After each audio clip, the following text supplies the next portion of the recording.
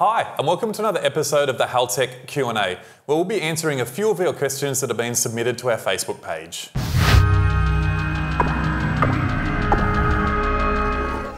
Our first question today comes from Paul Aaron, and he asks, I bought a car with a Sport 2000 already installed, but it's locked. How do I unlock it? Well, Paul, if you've plugged the USB cable into your Sport 2000, gone online, and it's asking for a password, that password's been set by whoever tuned the car. Now that tuner could have set a password for a bunch of different reasons. Typically it's for warranty purposes, so that the tuner can be sure that no one goes in and adjusts the tune and then has any problems later on. You can erase the password in the ECU by loading a default map. Keep in mind that loading a default map will erase all settings and all mapping inside the ECU, so the car will need to be set up again and retuned. So because of this, it's a good idea to try and find the previous tuner of the car if it's possible. Give them a call.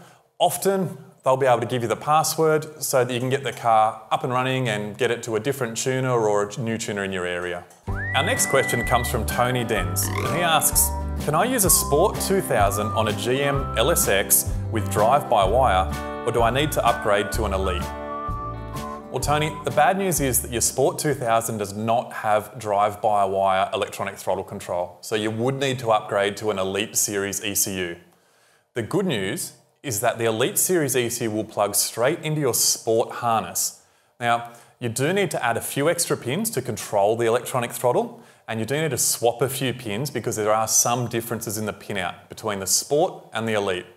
It's a fairly straightforward job. Your tuner will be able to do it really quickly and then you'll have an Elite ECU. Our last question today comes from Sam Muffin. If I swap my motor for one with a different crank trigger, can I adjust the tune directly from a Haltech ECU? Sam, the good news is yes, you can. Some other ECU manufacturers will get you to send the unit all the way back to the manufacturer in order to change the trigger type inside the box, then they'll send it back to you. With a Haltech ECU, we simply go online with the unit, go to the trigger setup page in the software, and just select whatever trigger type you've got on your new engine from the list of triggers provided. That way you've got no downtime, you can do it in your own time at home, and your engine will start, you'll be ready to race again. Well, that's all our questions for today. Thanks very much for submitting them.